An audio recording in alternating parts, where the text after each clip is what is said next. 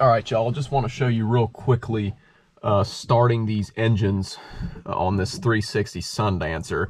Uh, so these battery solenoids are switches. You're just going to press them and energize them or turn them on. Okay. You got your master ignition switches here, which you're going to turn.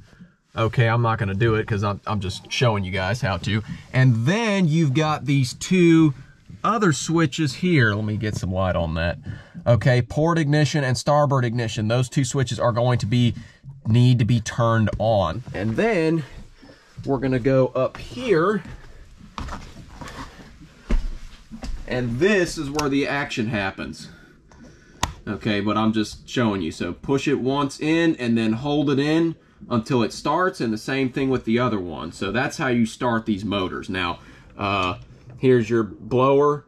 Um, that's you're definitely, especially on this boat, this is a twin, these are twin Mercruiser gas engines.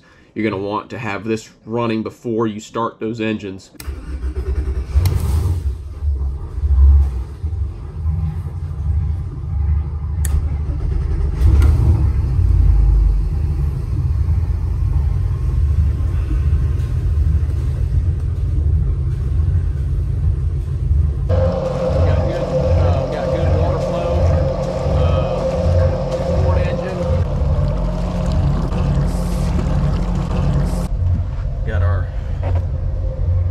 Systems monitor right there.